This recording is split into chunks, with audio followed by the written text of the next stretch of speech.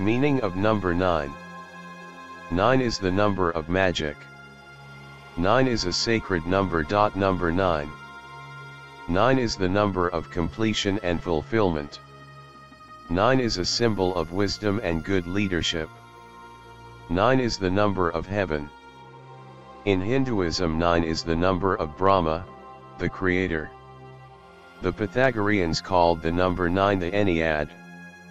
They thought of 9 as unlucky as it is one short of 10. The Pythagoreans considered 10 to be perfect. The ninth day of the Chinese New Year is the birthday of the Jade Emperor. The Jade Emperor is the supreme god worshipped by the Taoists. The Jade Emperor rules all heaven and earth. In China the number 9 is an auspicious number. When number 9 is pronounced, it sounds like the word for long-lasting. In Japan the number 9 may be considered unlucky. When number 9 is pronounced, it sounds like the word for pain. November comes from the Latin word novem, meaning 9.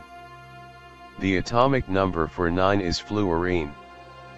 A nine-sided polygon is called a nonagon and also an enneagon. Norwegian runner, Grete Waitz won the New York Marathon nine times. For the Hebrews 9 is a symbol of truth. When multiplied 9 always reproduces itself.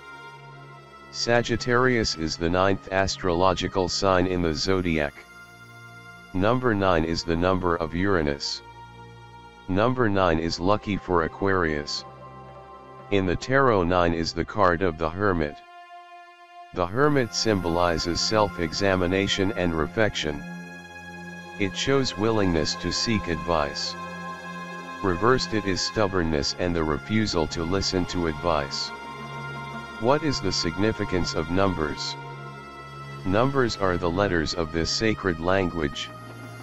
There are ten of them, and even the larger numbers are made of these basic ten. Each one is a magical, mystical building block, defining divine logic in an understandable way, together, their relationships embody our collective, cumulative universe, and separately each number embodies our individual universe, our life path, our soul purpose, our love life and soul mate, and our larger destiny. As mystics have long ago said, as above, so below, and as without, so within.